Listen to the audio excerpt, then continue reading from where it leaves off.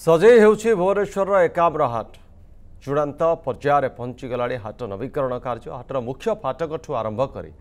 ପ୍ରଦର୍ଶନୀ ପିଣ୍ଡି ଖାଦ୍ୟ stall cafe parking ଏରିଆକୁ ନୂଆ ରୂପରେ ସଜ୍ଜିତ କରାଯାଉଛି ଏଠାରେ ବୁଣାକାର ହସ୍ତଶିଳ୍ପୀଙ୍କୁ ମିଳିବ ବିକ୍ରି ବଟାର ସୁଯୋଗ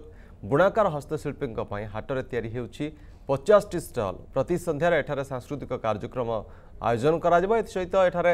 ରାଜ୍ୟ ଓ ରାଜ୍ୟ ବାହାରର ଖାଦ୍ୟ ସାମଗ୍ରୀ ଉପଲବ୍ଧ ହେବ ମହାମାରୀ ସ୍ଥିତି ସ୍ୱାଭାବିକ ହେବା ପରେ ପୁଣି ଥରେ ଲୋକଙ୍କ ପାଇଁ ଖୋଲିବ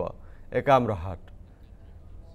ଏ ସମ୍ପର୍କରେ ଅଧିକ ସୂଚନା ପାଇଁ ଆମ ସହିତ ଭୁବନେଶ୍ୱର ଏକାମ୍ର ହାଟରୁ ଯୋଡ଼ି ହୋଇଛନ୍ତି ଆମ ପ୍ରତିନିଧି ସ୍ୱପ୍ନାଞ୍ଜଳି ମହାନ୍ତି ସ୍ୱପ୍ନାଞ୍ଜଳି ଯେଉଁଭଳି ଭାବରେ ଏକାମ୍ର ହାଟର ନବୀକରଣ କରାଯାଉଛି ଏବଂ ଗୋଟେ ନୂଆ ରୂପରେ ସାମ୍ନାକୁ ଆସିବ ନବୀକରଣ କାମ କେତେ ଦୂର ଗଲାଣି ଏବଂ ନୂଆ ରୂପ ଯେଉଁଭଳି ଭାବରେ ଆସିବ ସାମ୍ନାକୁ କେତେ ଆକର୍ଷିତ ଆକର୍ଷିତ କରିବ ଲୋକମାନଙ୍କୁ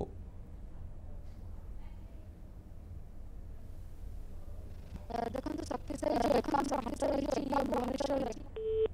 ଲୋକମାନେ ଆସନ୍ତି ଯାତାୟାତ ମଧ୍ୟ କରନ୍ତି ଇଏ ହେଉଛି ବହୁତ ପୁରୁଣା ହାଟ ୟାକୁ ବର୍ତ୍ତମାନ ନବୀକରଣ କରିବା ପାଇଁ ୟାକୁ ସୌନ୍ଦର୍ଯ୍ୟକରଣ କରିବା ପାଇଁ ବର୍ତ୍ତମାନ ହସ୍ତତନ୍ତ ଏବଂ ବୟନଶିଳ୍ପ ବିଭାଗ ମଧ୍ୟ ଅଣ୍ଟା ଭିଡ଼ିଛି କାହିଁକିନା ଯୋଉ ଏକାମ୍ର ବନ ହାଟ ରହିଛି ଏହାକୁ ସୌନ୍ଦର୍ଯ୍ୟକରଣ କରାଯିବ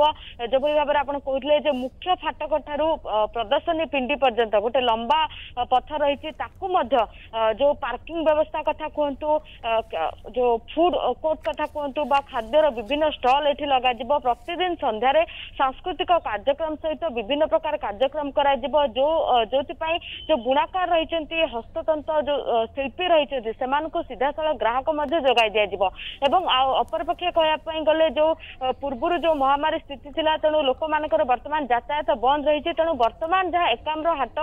ବା ଏକାମ୍ର ହାଟର ପରିଦୃଶ୍ୟ ରହିଛି ପୁରା ପରିବେଶ ବର୍ତ୍ତମାନ ଚୂଡ଼ାନ୍ତ ପର୍ଯ୍ୟାୟରେ ରହିଛି ବର୍ତ୍ତମାନ କାମ ଯୋଉ ରହିଛି ତା ଶେଷ ପର୍ଯ୍ୟାୟରେ ରହିଛି ଏବଂ ଆଉ କିଛି ଦିନ ମାତ୍ର ଅପେକ୍ଷା ସୁରକ୍ଷା ଇଏ ସୌନ୍ଦର୍ଯ୍ୟକରଣ କରାଯିବ ଏଥିସହିତ ଯୋଉ ବିଭିନ୍ନ ପ୍ରକାର ଗଛ ଏକାମର ହାଟ ଭିତରେ ଅଛି ତାକୁ ମଧ୍ୟ ଖୋଦେଇ କରାଯାଉଛି ଏବଂ ଖୋଦେଇ କରାଯାଇ ବିଭିନ୍ନ ସ୍ଥାପତ୍ୟ କଳା ମଧ୍ୟ ସେଥିରେ ଦେଖିବା ପାଇଁ ମିଳୁଛି ଆଉ ଗୋଟେ ପଟେ ଯଦି କହିବା ଯେ କାନ୍ଥରେ ଆଦିବାସୀ ନୃତ୍ୟ